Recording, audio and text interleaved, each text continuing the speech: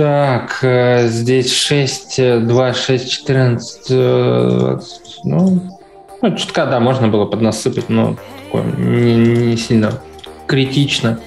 А, ну тут такой интересный спот.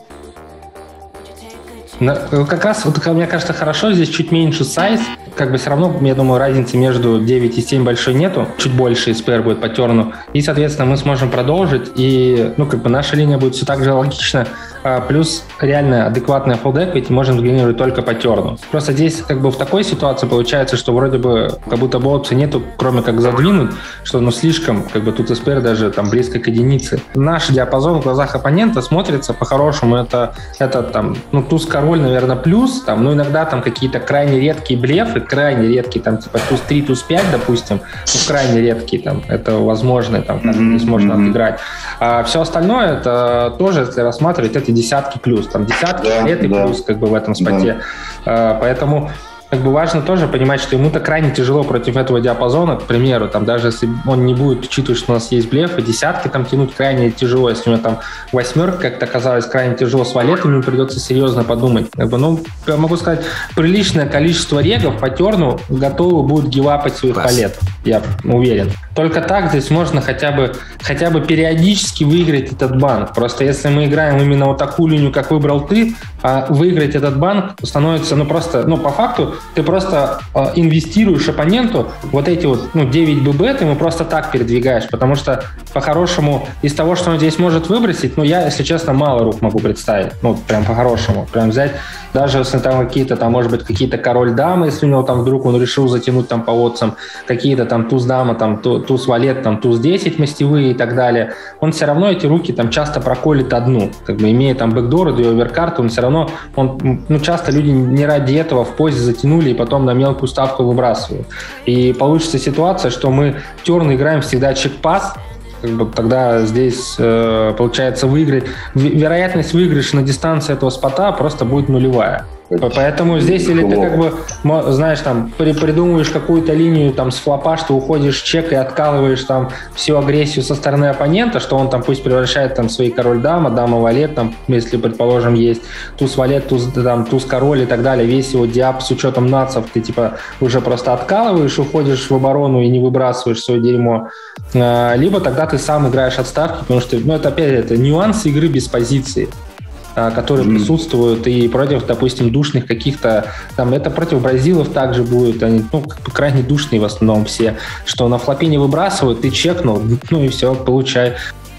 Охуенно, братан! Как бы, они, они не будут с тобой играть, знаешь, там, туз-дама, туз-валет, так они не пойдут на шиде с этой рукой. С король-дама, там, с, с король-валет, с дама-валет, никто с ней на шиде не пойдет. И всегда на твой чек поставят. И получается, что все, что ты делаешь, ты просто в холостую внедряешь здесь бабки. Тогда или ты как бы с флопа уходишь в эту защиту и просто оставляешь весь диап оппоненту и, и потом сопротивляешься, либо тогда ставишь и ставишь часто как минимум две, а ривер уже думаешь в зависимости от ранаут. Как бы стоит, не стоит доблифовывать, как в зависимости от СПР, каких сайзов ты использовал и так далее. Что вот по поводу этой раздачи, интересно, как ГТО отыграет эту раздачу. Так, ну и посмотрим. Получается, Баттон затрибетил, да, а, мы поставили 4 бет. А, у него, кстати, крайне широкий диап на такой. Ну, нам типа не подойдет такое, конечно. Серенький. Я типа ну, еще могу... Может. Да, я еще могу предположить, что вот это вот, ну, как бы вот это все кол, там, да, это кол, там карман, окей, кол, э, туз дам. Ну, хотя, если бы не вот это все, ну, блин, кстати, вот не, не вот этих король 7, король 6, еще, ну, как-то более-менее терпимо смотрится. Так, а у нас что за борт был? 2, 4, 6. Радуга.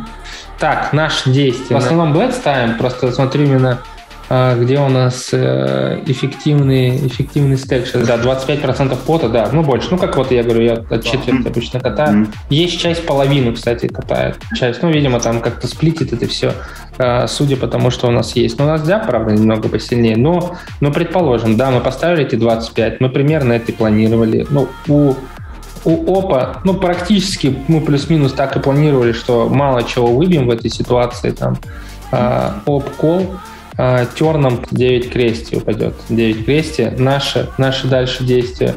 Ну, кстати, в основном Зеленый смотрю... Чекает. А, в основном чекает. А что чекает? Ну, видишь, у нас просто нет этих рук в диапе. туз-король довольно-таки часто чекает, и часть из них продолжает дальше мелким, часть из них, часть просто пуш. Ну, короче, тут типа все что угодно можно раскидать. Ну, просто тут такие диапы, что у нас, конечно, это нас сильно не касается. Я бы просто брал бы более тайтовый диап, и наш более тайтовый, потому что он, видимо, много блефов берет, а у нас было бы больше value, наш диап, ну, как бы сильнее смотрелся бы, тогда туз король пришлось бы, ну, типа, возможно было превращать. Ну, предположим, я бы дальше смотрел бы тоже какую-то ставку типа полпота, но в банке-то уже 7 из ББ. Не-не, я бы опять небольшую ставил, чтобы ривером ставить. Вот, ну, тут, видишь, такая небольшая, 25. Ну, нормально. Тут из-за того, что 3 бет, мне кажется, нормально ставить. Так, но он вроде бы ничего не выбрасывает особо. И, ну, не короля положу, дама. Мне интересно, а. что он с король сделает просто. Э, ну, я понял. Да тут как бы типа туз король, ты вот сидишь и только без крестовой, и желательно все доблифовываешь. А все, что с крестовой, все доставляешь. А чем откалывают, интересно? Вот, э, получается, э, желательно типа не иметь крестовой руки. Так, а что у нас еще получается? Так, Алын остался. Так, ну вот валеты поехали, от, отвалились, карманы Э, ну, кстати, странно, что он восьмерку колет. Мне кажется, восьмерки вообще легкий пас. Король, король дама, дама валет, дама 10, король 9. Ну, оптимист. А, ГТО, как бы, что мы хотим сказать. Ну, вот, не, ну, ну да, и, ну, он, кстати, не всегда выставляется. Вот он, ну, типа, ну десятки, допустим. Десятки Конечно. почти всегда, типа, валеты в пол, короли дамы, видишь, всегда в пол.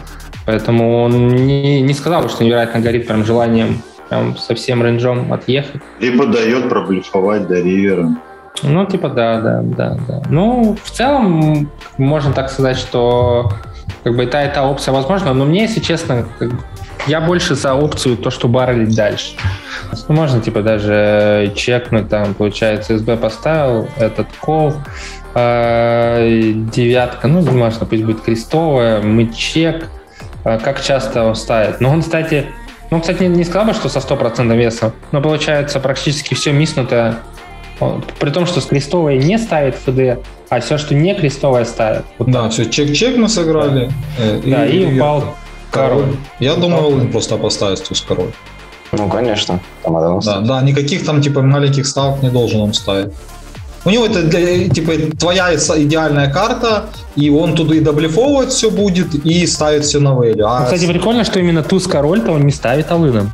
Он ставит алын только с тузами, с туз дамой и туз 5. Все, больше ничего. Все остальное э, получается, короли ставят, ну, типа, вот это все синее, это он играет от мелкого, от 10% бета, а вот это он катает от 60. Все, что зеленое, это 60% об этом. 60%. Да, да, типа основной сайзинг, типа Алын даже не использует.